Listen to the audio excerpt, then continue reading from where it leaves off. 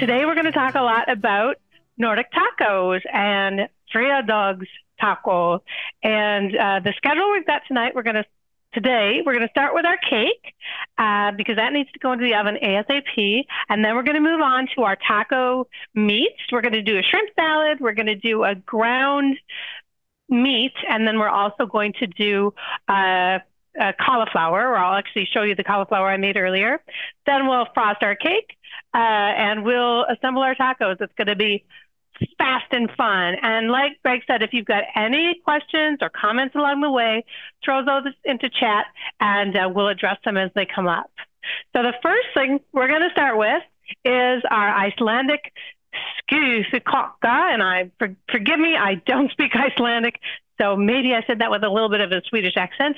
Uh, this cake is a really nice cake because it's pretty easy and it also shows us how to uh, make a cake from scratch. So we're not using a box today, we're actually making it from scratch. And one of the very first things we're going to do is we're going to beat or cream our sugar, our eggs, and our vanilla.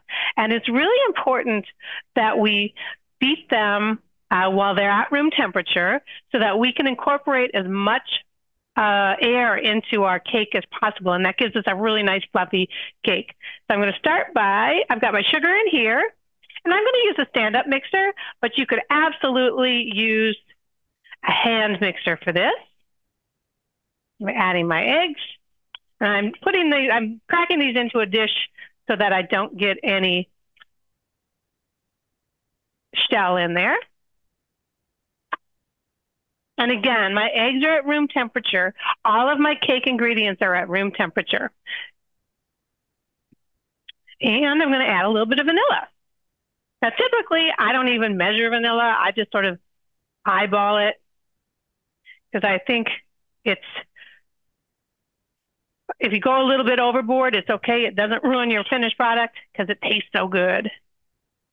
And this recipe actually calls for coffee.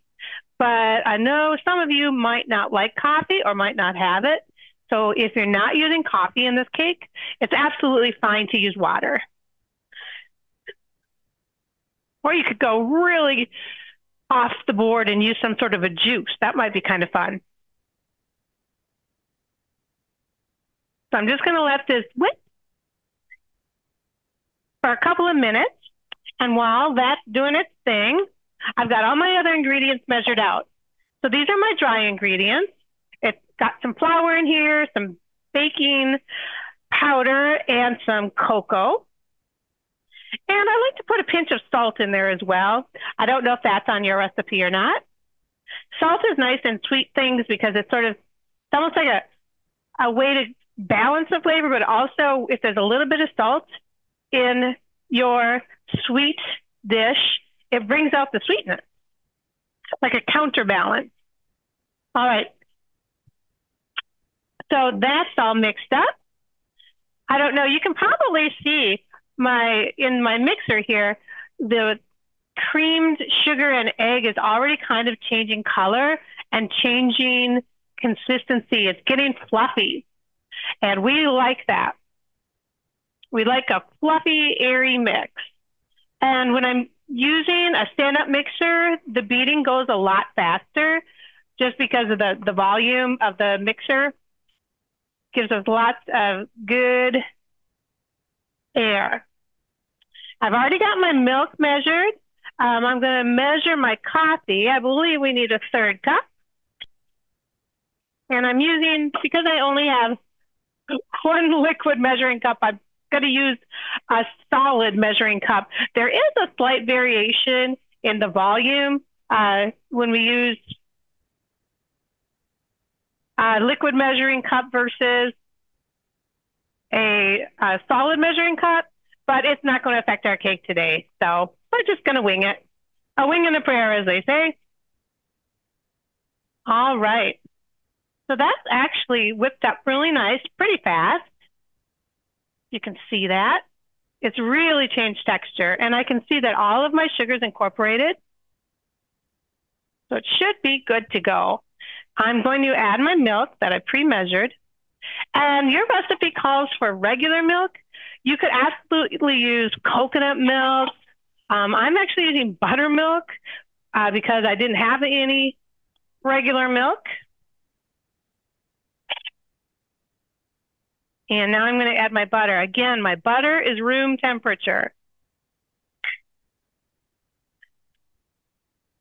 I'm just kind of cutting it into smaller pieces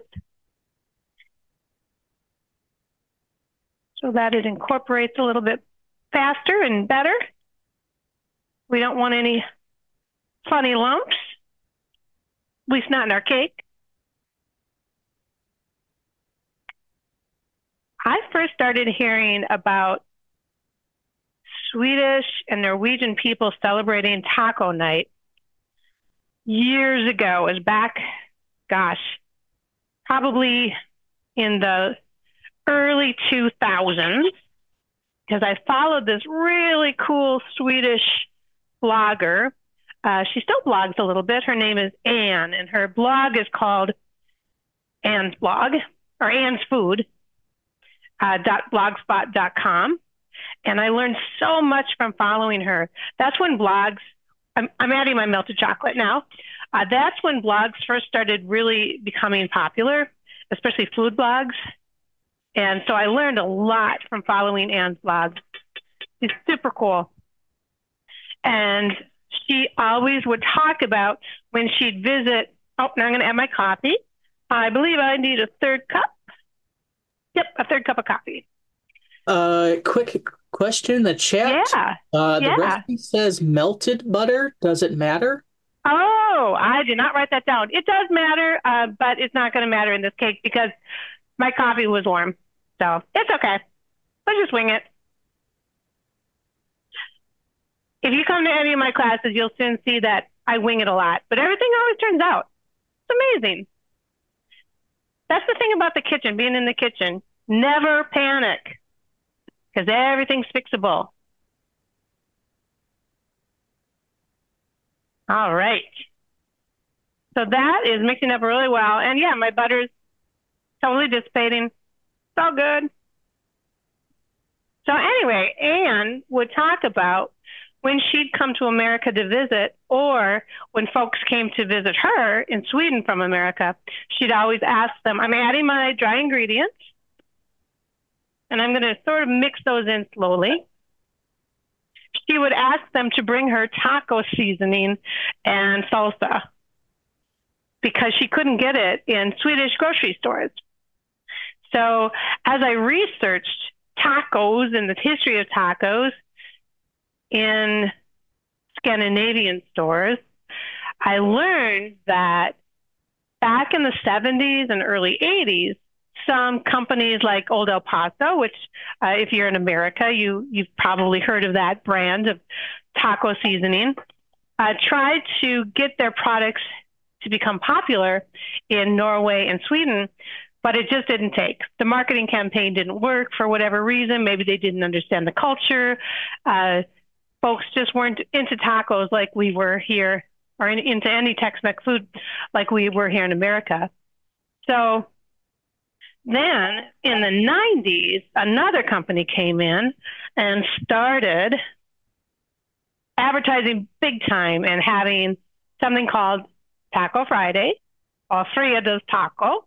And that is when the folks in Norway and Sweden got really into tacos and started eating tacos on Friday nights.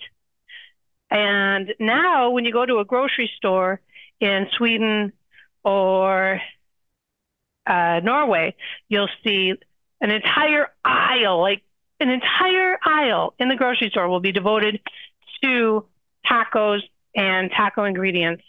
And when I was there in I was in Sweden in 2017, and I was at a grocery store and saw this huge aisle of just taco ingredients. And in a Swede, in Swedish, there was a little advertising sign. I'm adding my yogurt now. That said, uh, Fridays not just for tacos anymore or tacos, not just for Friday anymore. They were trying to make sure that people understood they didn't need to just eat tacos on Friday, that it was something they could eat any day of the week. And some of the differences in Swedish and Norwegian tacos and even Danish tacos uh, that are different than the tacos we have in America. If you were looking at all on your uh, recipe sheet and the different ingredients we're using today, things like shrimp, pineapple, corn is a really, really big deal. Uh, those are the ingredients that you'll see that are a little bit different than what we see here in America. Hey, Patrice. And, yeah. We have uh, a question in the chat. Uh, in the directions, it mentions cinnamon, uh, but they're not sure how much cinnamon that they should use. Um, I would use a teaspoon. I'm not a big cinnamon person, so that's why I didn't add it to mine. So uh, thank you for clarifying the recipe. Um, in this cake pan, I have buttered it pretty generously, and then I've got some cocoa powder here. So those of you who have baked in the past, uh, sometimes you'll see a recipe will say grease the pan and then sift a little bit of flour in the pan, and that helps the cake release once it's baked. But since this is a chocolate cake, if I put flour in my pan, I would have white residue on my cake, and it wouldn't be so pretty. So I like to use cocoa powder, and that way it's the same color as my cake, and it'll be pretty. So I'm just going to kind of pat the cocoa powder all around.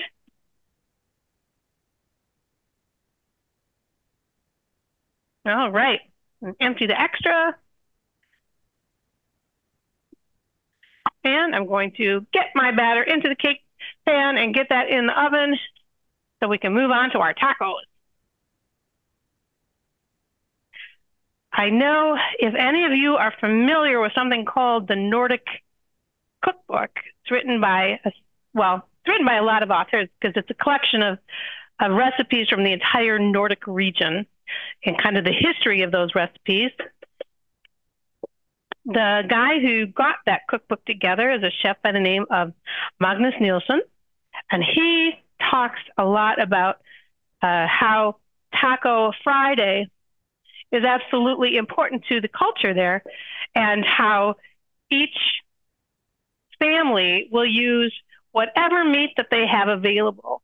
So if you're up in northern Sweden or northern Norway, maybe you've got reindeer in your freezer. So that's what you're going to put your, in your taco meat. If you're on the coast, you might have shrimp or cod or even salmon. So you'll put that in your taco. So it's really, in that way, it's not really that much different than in America because we like to use what we have. In fact, uh, before our class started, I was telling Greg, I forgot to get chocolate for the cake to melt. So I used some of my husband's chocolate candy bars. I said, he doesn't get candy bars, but he does get cake. Uh, Patrice, I have two questions that have popped. Yeah. One is actually asking if you have any preference on the kind of cocoa powder that you use. Ah, yes, actually, I do. Um, I like to use uh, Ghirardelli or Ghirardelli. Uh, I think it's really nice. It's a, a, higher quality chocolate. But if you don't have that in your store, just you can get the Hershey's processed cocoa. I think it's if it's Dutch processed, uh, that's the preferred kind of cocoa for baking. And of course, it needs to be unsweetened in this recipe, in most recipes. And then our second question is uh, they had noticed that you are using a nine by nine cooking uh, baking sheet, but if they they were wondering if you could use a, a sheet pan like when making a Texas sheet cake. If oh. that's uh, you know, you could. It's going to change the baking time. Uh, it's going to bake a lot quicker. So you'll just want to watch it and make sure you don't overcook it. Chocolate cake is one of those things I'd rather underbake it than overbake it, if that makes sense. I'd rather have it gooey. There's a cake that's very popular in the Nordic countries, and it is called uh, it's called a gooey cake or sticky cake, a kladdkaka, and it's almost like an underbaked brownie, and it's really delicious, really popular, and uh, again, because you don't overcook the chocolate, it still carries that super gooey, yummy taste. All righty. So while our cake is baking, let's talk a little bit about the cauliflower. Um, uh, because this, the cauliflower cooks at a higher temperature, 425, and my cake's at 350, I actually made it ahead of time. And I wanted to admit to you all that I have never been a fan of cauliflower. I think because I always had it I I mean, I like it raw, dipped in ranch dressing. That's great. But I always had it maybe overcooked, so it got kind of that uh, kind of cabbagey, overcooked cabbagey flavor. But then I started seeing pretty different colors of cauliflower at my farmer's market. Purple cauliflower and gold cauliflower, green cauliflower. And I started uh, roasting that cauliflower, and something about these beautiful colors almost uh, makes the cauliflower sweeter to me. And so, whenever I get a chance to uh, use a pretty colored cauliflower, I do. And toasting it, roasting it, gives it again it kind of caramelizes it and gives it a really nice sweetness so what i did for this taco cauliflower is i broke these larger florets into smaller pieces. You can use a knife too. And then I tossed those pieces in a little bit of oil, vegetable or olive oil is fine. And then uh, put a little bit of my taco seasoning on that. And then I roasted them till they were tender, until they caramelized. And they are delicious. I'm very happy with those. Uh, cauliflower tacos are really good uh, especially if you like to top them maybe with a nut. Today we're using peanuts, but you could also use a sunflower seed or any kind of toasted nut. Uh, something about the nutty flavor of the cauliflower and the toasting of the nut together is just a great combination in a taco or even just as a side dish. Now, our next kind of interesting uh, taco ingredient is shrimp salad. Shrimp salad is huge in Norway for tacos. Uh, shrimp salad is huge all over the Nordic region, but in tacos, I think it's really interesting. The Swedes like to put shrimp salad on their hot dogs, uh, which is also kind of fun. Uh, but shrimp salad in a taco is really, I, I think, clever. Again, using what you have, right? And using what you like. And shrimp's really good for you, too. So, what we're going to do today is make a kind of a shrimp salad, but we're going to taco-fy it. And in Norway, when you get shrimp, it's pretty little. It's about a quarter of this size. This is Gulf shrimp, which is a really big species. And so, since their shrimp is so big, I'm actually cut it down to size. And this isn't a full 12 ounces. Uh, this is uh, more like six ounces because there's only two of us in this house. And so I'm just going to make enough for the two of us. I'm just kind of cutting it into a smaller shrimp size. And this is already cooked, already cleaned. Took the shell off after cooking it, made sure it was clean, no veins.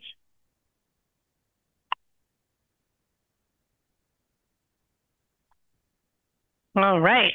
Actually, I'm going to put it in this dish. And then in here, I'm going to find a lime and a zester would be very good. And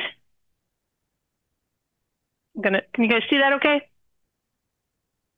Uh, I think a little more. Yeah, that's perfect. All right, we'll just move this over here. Y'all don't need to see that.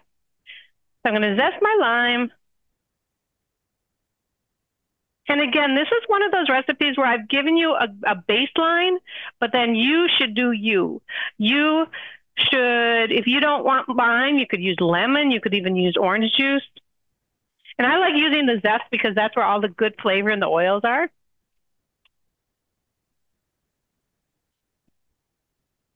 And in a pinch, you could even use vinegar as your acid. And just remember, with an acid, usually going to need a little bit of salt. So we'll taste it in the end to make sure we have enough good seasoning.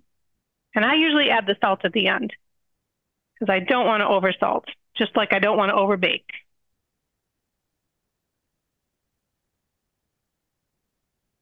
And then I'm going to add a little bit of mayonnaise. And this is actually Japanese mayonnaise. This is Kewpie. It's got a little more of an umami flavor to it.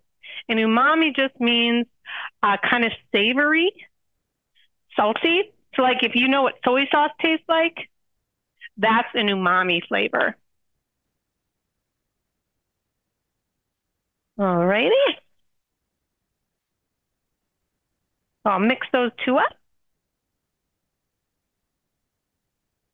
I like Kewpie mayonnaise because it, it does have a really nice flavor, but when I was a little girl, my older sister had dolls that, that that look the doll is I don't know which came first, the doll or the mayonnaise, but she collected Kewpie dolls. And it if you can see see the doll, that's what her Kewpie dolls look like. So there are these little naked babies with a curly top on their head.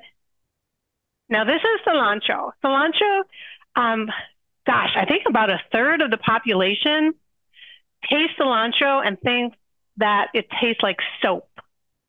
So if that happens to you, actually another one of my sisters has that where she cannot eat cilantro because it tastes like soap to her. And it's just sort of a genetic thing. So if you have that or somebody in your life has that, you can use parsley. You could even use dill or chives. Use any herb that you like or that's available to you. You could use the top of a celery leaf. You know how those celery grows straight up, but then it has the little leaves on top? That would actually be really nice in this. Just as a heads up, Patrice, uh, the onion cutting is a little bit off screen. All right. Now, I'm hoping some of you took Christy's cutting class yesterday. Greg was telling me he learned a lot too.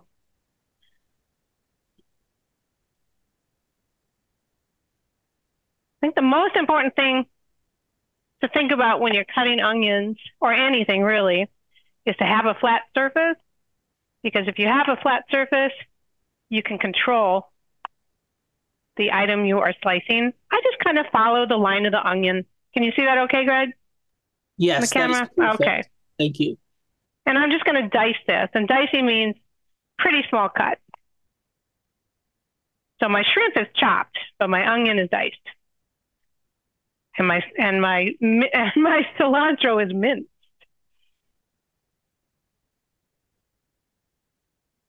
You could use any onion in this that you want. I know a lot of times in recipes it specifies red or green or white or yellow or leeks. But you should always remember our shallots. You can really substitute any onion in any recipe. If you don't have the onion that's in the recipe, find one you do have. Should never be limited because of what we have. I'm going to put that in there. Again, I'm just eyeballing this.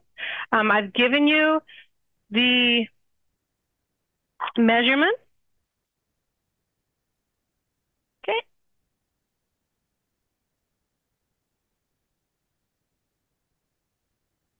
But once you've made this a couple times, you'll realize that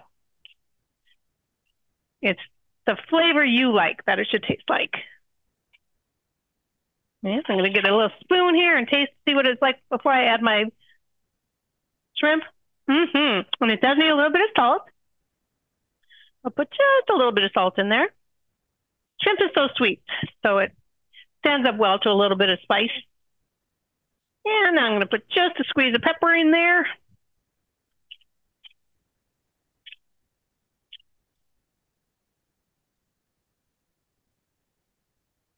All righty. And then I'm going to add my shrimp.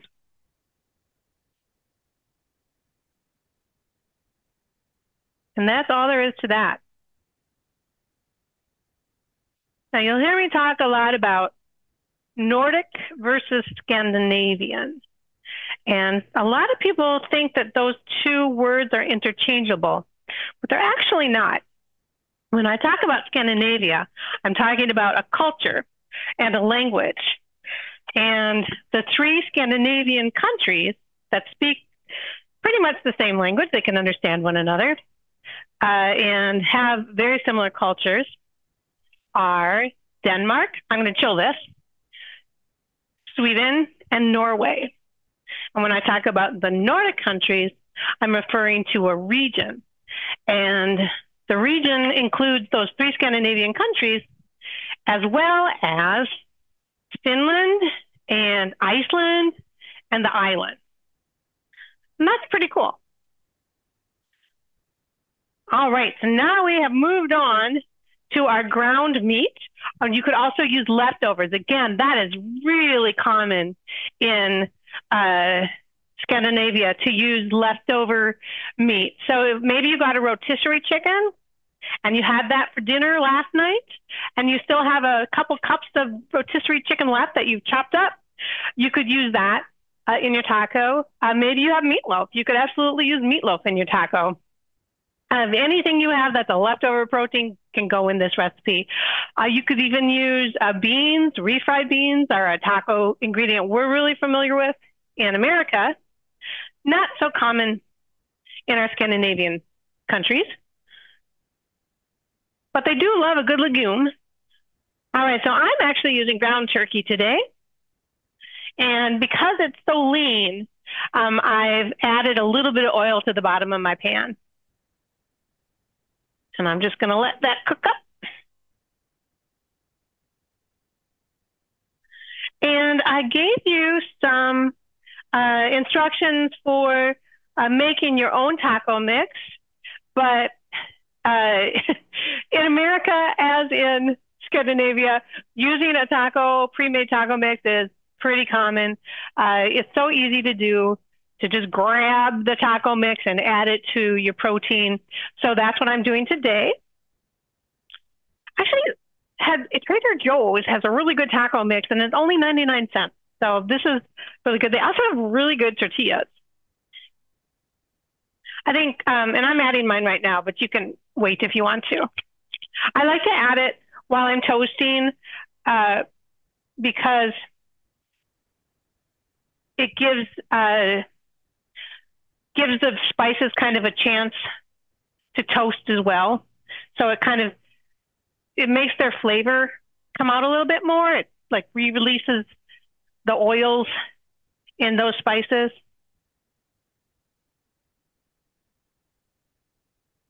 And then once that browns, now if you're using leftovers, you may want to add a little bit of onion. You can absolutely add onion now and uh, that. I've done that many times where I add onion, maybe even some other vegetables, some carrots, uh, some peppers, just to kind of enhance the flavor and add some vegetables into our diet kind of it's not really hiding it. I think it enhances the flavor. If you've ever made marinara sauce um, and you start from scratch, you you add onion, you might add peppers and celery and carrots, and it enhances the flavor of the sauce. And the same is true for tacos. Alrighty. So while checking on my cake here, oh, cake's looking pretty good. While that's doing its thing, um, let's talk about some other ingredients. Um, for topping our tacos, I love using cabbage. I like to slice cabbage really thin, especially if I'm putting it on a fish taco. I think it just it gives it such a good crunch. Today I had spinach, so I'm going to use spinach with my tacos. Then I have a salsa. I like to make my own salsa, especially in the summer when the garden is giving us so much great produce. Uh, it's winter right now, so I actually uh, bought one of my favorite local salsas in Minnesota, Salsa Lisa, and I got one that's got pineapple in it because I thought, well, that's perfect. Pineapple salsa because we're adding pineapple to our tacos. And here's that pineapple. Pineapple and bananas are an interesting ingredient in our Scandinavian uh, friends' diet. They love, especially the Swedes, love adding uh, bananas to everything, savory dishes, pizzas, hot dishes, and uh, both the Norwegians and the Swedes love adding pineapple as well. I think when we talk about kind of the influence of culture, we understand that as folks started traveling to other countries and other lands, they started eating the foods of those countries and lands and realizing how delicious it is, delicious it is, and then bringing it back, just like tacos, bringing the tacos back to their country and uh, eating them there. Now, Swedes and Norwegians and Danes, uh, their cheeses are a little bit different than the cheeses we have in America. In America, it's pretty standard to have uh, a cheddar or a Monterey Jack. Maybe we've got some queso from Mexico. Uh, more common in our Scandinavian uh, tacos would be like a feta or a farmer's cheese, something with a little bit of sour bite. Uh, and also, oh yeah, absolutely. Uh, in your uh, travels to Norway, are pinto beans canned or canned pinto beans or refried beans commonly available, or are they pretty hard to come by in Norway? That is a really great question, and I don't have the answer to it. Um, I, I wasn't ever looking for those items, so I don't know. I mean, obviously, beans are part of uh, everyone's culture. Uh, Swedish brown beans. Um, I, I, feel like there must be, but I don't know. I doesn't have. That'd be a good Google search if somebody wants to look on Google for us. That's a really great question. Okay, so uh, we also use a lot of sour cream in our tacos. Yogurt is far more common uh, over in Scandinavia, so we're going to have yogurt in our tacos today. Peanuts also. Again, peanuts are, you know, a food that are very common in America. Peanut butter, would you give somebody not from America peanut butter? They often wonder why we're eating it because they don't get it. But peanuts have become really popular uh, as a condiment. I'm going to add a little bit of water to this.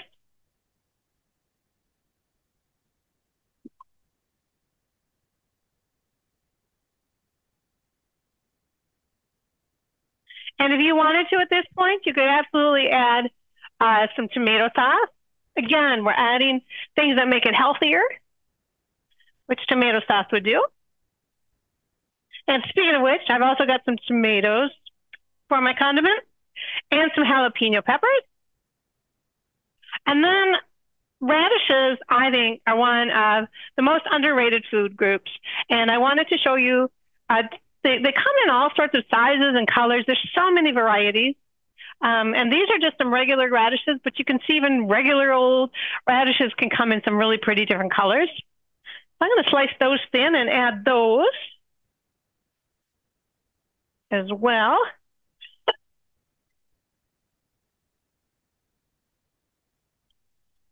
And when you're talking about different jalapeno peppers, uh, they come in a variety of sizes, colors, and heat. So if you like a hot pepper,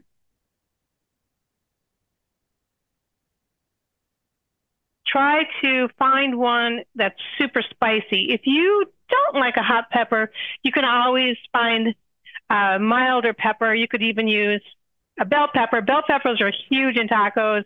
In Norway, they love them. You could use any color or variety that you want. I'm just slicing my radish super thin. And the colors are so pretty. You know what? Let's do this one like this.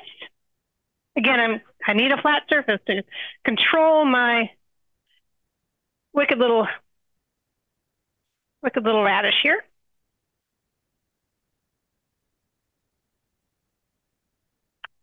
And again, in the summer, you can grow your own. Grow your own radishes, grow your own peppers, grow your own cauliflower. Olives, another really popular item to put on your taco in Scandinavia. And of course, we've got cilantro or parsley. And here is the aforementioned bell pepper. Very common, very popular ingredients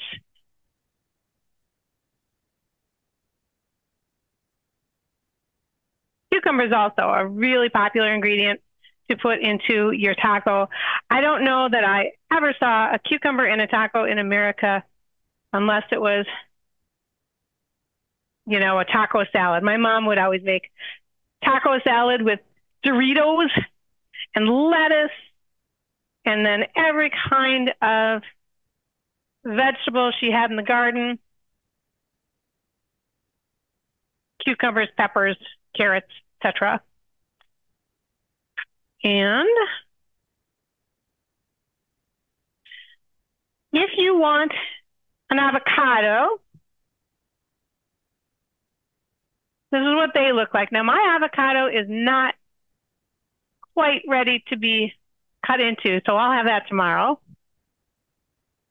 You have to make sure they're nice and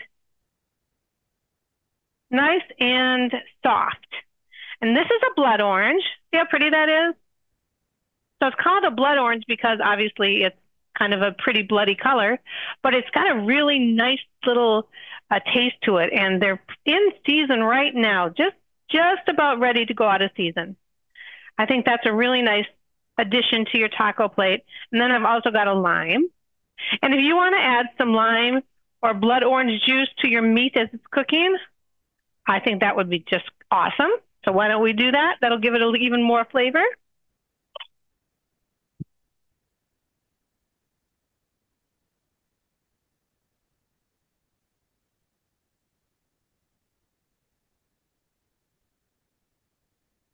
I love citrus.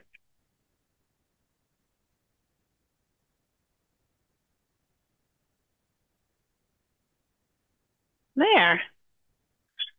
Waste not, want not. All righty. I think that's everybody.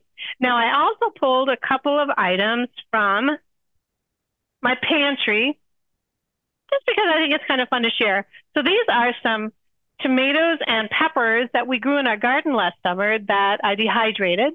So I'm going to add those. And these are some green tomatoes that we dehydrated. So I'm going to add those to my little taco area here as well. And I think our meat is just about done. I'm going to give that a taste. And then we can talk about our frosting.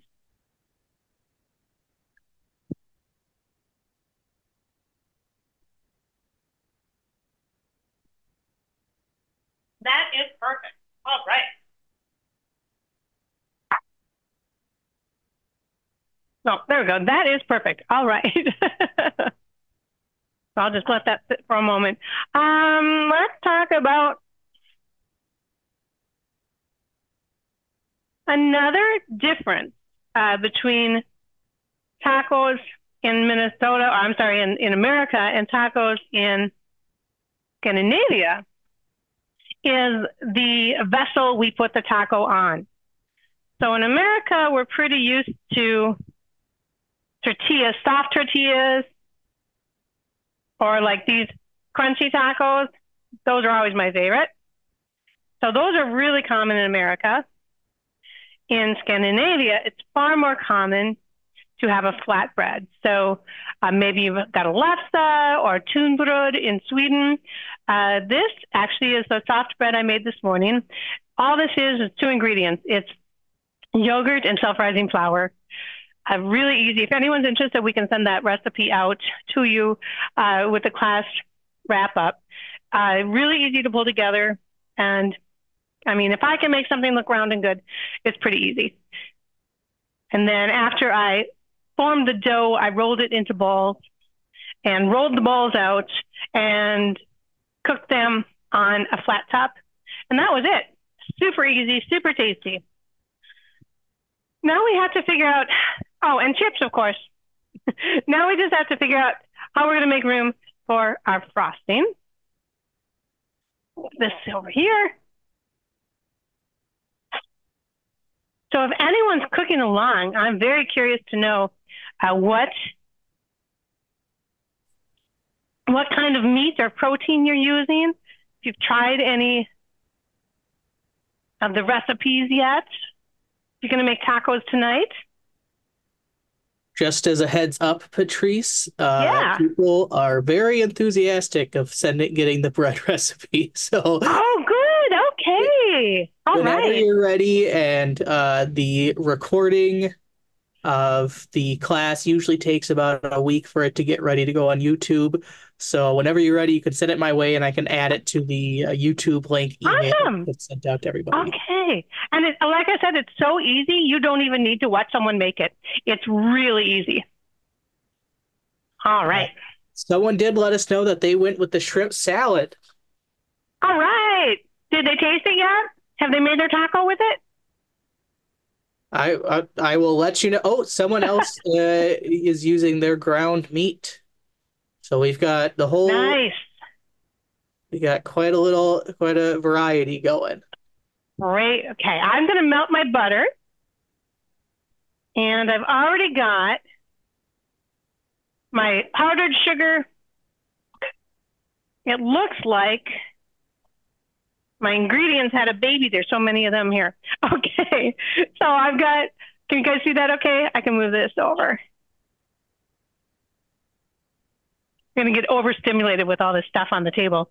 So I've already got my powdered sugar measured. It's a one and two third cup powdered sugar. I'm going to add one half cup of melted butter. I've got a tablespoon of cocoa in there. And we're going to add four tablespoons of coffee and two teaspoons of vanilla. So here's my vanilla. I've got my coffee. All right. Someone uh, is using a black bean veggie burger, So they're Ooh, nice. So like a crumble or the burgers themselves? well, I mean, they're gonna have to chat chat into again for you to with the follow up questions. I love that.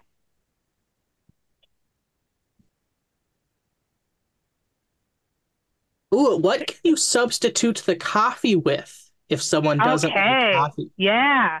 Okay, there's lots of ways you could substitute that coffee. Since this has got coconut in it already, we're, we're going to top this cake with coconut. You could absolutely do a coconut milk, like a canned coconut, because it's nice and fatty.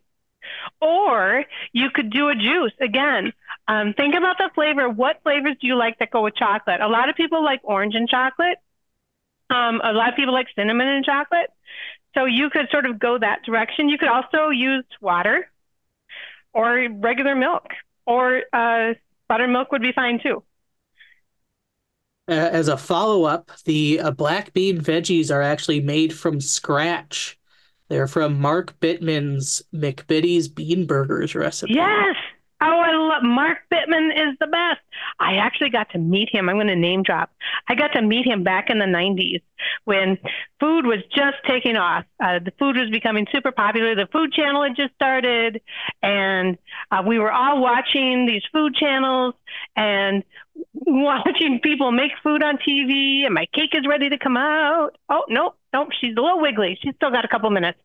Um, and there was this woman in town. Her name is Suze Ellickson uh, here in Twin Cities, and she started something called the Cookbook Club.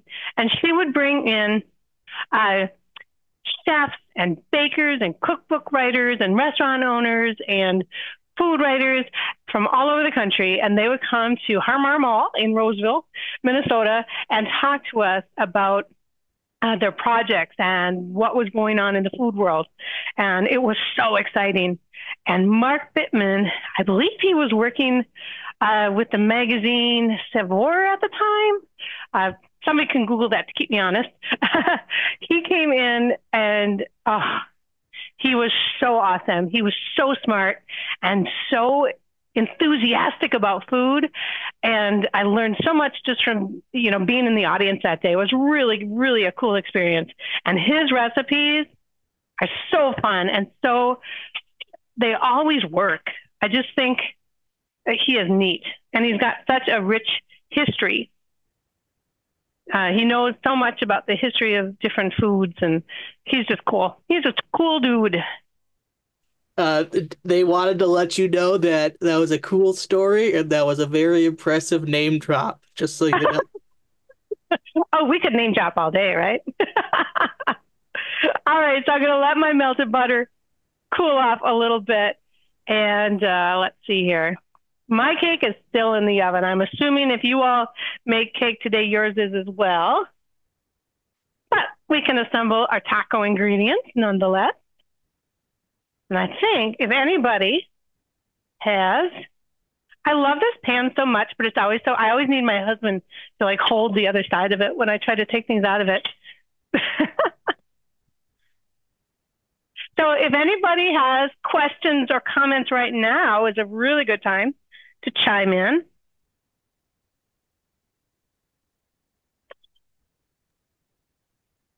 Mark Bittman wrote that the vegan five day vegan book too.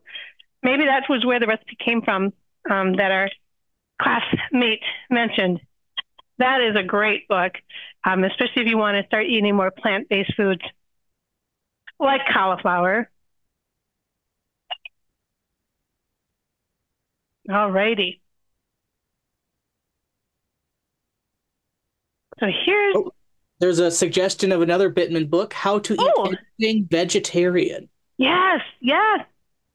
See, he's so cool because he understands that we like, we enjoy the flavor of meat, but we also want to eat sustainably and make sure our planet stays intact.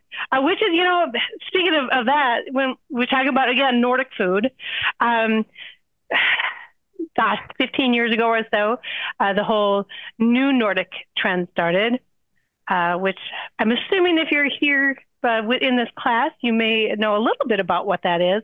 And that was when about a dozen chefs, Nordic chefs, got together and uh, decided they wanted to really uh, emphasize and uh, explore the ingredients and techniques that have always been part of the Nordic region and really uh, make put, put kind of a stamp on the map, a place on the map, quite literally, the Nordic map, uh, saying, you know, this is what we, this is our philosophy of food. So uh, one of the most important uh, aspects of that is using seasonal ingredients, using ingredients that um, are humanely uh, resourced. So uh, if you're you're eating meat or seafood or vegetables, you're harvesting those in a way that is humane and that gives doesn't take away from the planet, but it gives back to the planet. So not over harvesting, um, making sure that uh, you treat uh, plants and animals and the earth in a way uh, that is gentle and kind. And uh, also, I was so interested in the whole philosophy of New Nordic, and then when I visited, um, that is, it made me understand that that is more of a restaurant idea, where the everyday home cook in the Nordic countries are just like here, where we're just trying to get a good meal on the table for our family. Um, we can't always afford organic ingredients. We do the best we can with what we have. And uh, I think that is something we all have in common. But just the idea of understanding uh, what seasonal, sustainable, uh, humanely resourced foods are, I think it's something that is really important for us to be aware of even if we can't always do it in our everyday life, at least do our best in, in finding those ingredients that we can source, uh, you know, can afford to source in a sustainable manner. With all of these taco ingredients, is there any specific way uh, we should be layering them? Or is it whatever we would like? That is the beauty of taco night you do you, whatever you like to do. Now, I've always been, oh, I added my melted butter to my frosting. And I'm just going to set that aside. And I'm going to pour that over my cake when it finally comes out of the oven. And then I'm going to um, add some shredded coconut to it.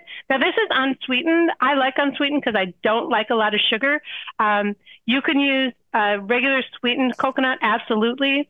If you have unsweetened, you can make this into sweetened coconut uh, by uh, making a, a, simple syrup, which is one part water, one part sugar, and then uh, adding, you, you simmer that until all the sugar dissolves.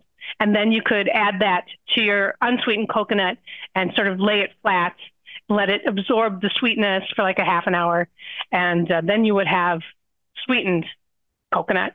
But anyway, I like the plain. Okay, so in my world, when I make tacos, let me grab a plate here. My friend John made this. Isn't that pretty? I would start with a nice warm soft bread. And I would actually add cheese first because I like it to melt. And then I would add some of my warm ingredients.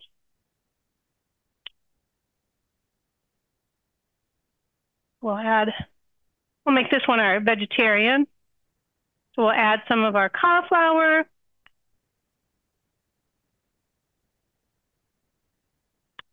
I need my I need my chopsticks. Okay, and you absolutely have to have corn because this is a Nordic taco, and you must add corn. And oh, I should have mentioned earlier, we don't heat the corn. If it's frozen corn, we thaw it. If it is uh, canned corn, we just drain it and we just use it cold or room temp. It's kind of weird, but that's the way it is. I'm adding a little bit of pineapple, and I love pineapple and olives and hot pepper. That's my favorite ingredient to put on a pizza. So I'm going to do that on my taco. Let's see to that. I'm going to add a little bit of red pepper just for the color. And then I could absolutely add some peanuts and a little bit of yogurt, maybe a little bit of salsa, and that's it. That's a lot of stuff on one taco, which is why I make smaller uh, smaller tacos so that I could have more than one. And that would be, to me, a perfect taco, a little bit of cilantro. And a friend of mine gave me a really good tip for tacos.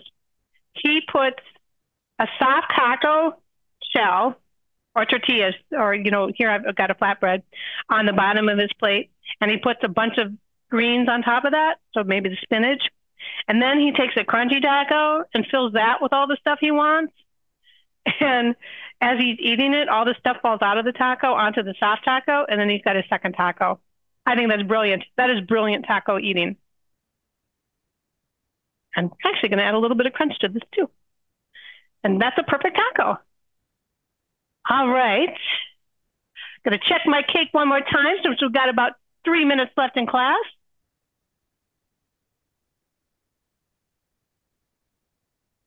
I'm going to actually check this with a skewer and see how far she has to go. Oh, she's on. Yay. Okay. Let's make some room for our pretty little cake friend. If you um when you have a moment, since we've been talking about new Nordic tacos and uh, yeah. we've had quite a lot of uh pizza, new Nordic pizza classes. Yeah. One of our uh, students needs to know, since you're showing us your favorite of the Nordic tacos, what is your favorite of the Nordic pizzas? I love banh curry. So that is a pizza. This is still warm. Normally it would cool the cake, but you know we're pressed for time. This is almost like a ganache now. It's going to be actually really good like this. Uh, so you take a pizza and you put on your uh, you, you you take your pizza crust and you add to it some regular red sauce. And to that sauce, a little bit of curry powder and a little bit of a garam masala, which is like an Indian curry. And then you top that with bananas, sliced bananas, so it looks like a banana pepperoni. And to that, uh, you add your cheese and you bake that, and it's so delicious. And when it comes out, uh, this is where I'm a little bit different than our Swedish friends. I like to add, um, well, peanuts, uh, is pretty common. And then lots and lots of fresh herbs like uh, Thai basil and cilantro and mint. Oh my goodness, it's so pretty and it's so delicious.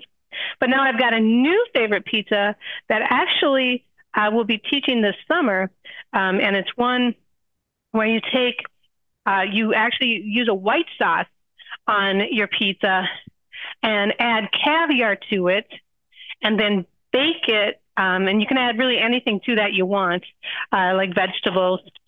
And you bake that, and the caviar and the white sauce makes the most amazing sauce for your pizza. I'm adding a little bit of coconut to the top here. Do, I want to know what your all favorite pizzas are. Favorite Nordic pizzas. Uh, before I get to answering that question, um, for the shrimp salad taco, do you yeah. add toppings or is it just the shrimp salad? Oh yeah, absolutely. Add toppings. Should we make one of those too? With a shrimp taco, I might use my feta instead of uh, my instead of my uh, cheddar. So for a shrimp taco, let's see. So I would put some feta down. I haven't opened it, and then I would I'll put a little bit of sour cream in there, and my shrimp.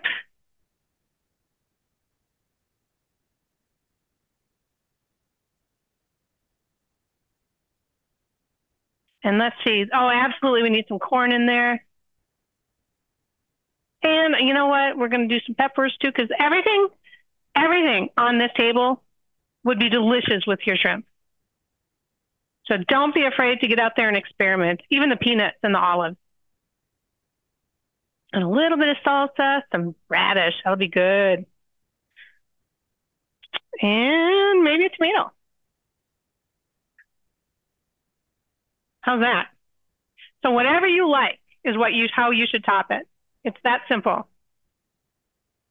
Maybe a little bit of lime on the side there. And dripping. So be creative. And then when you're all done with your tacos, you can actually make a really good salad out of all of these ingredients.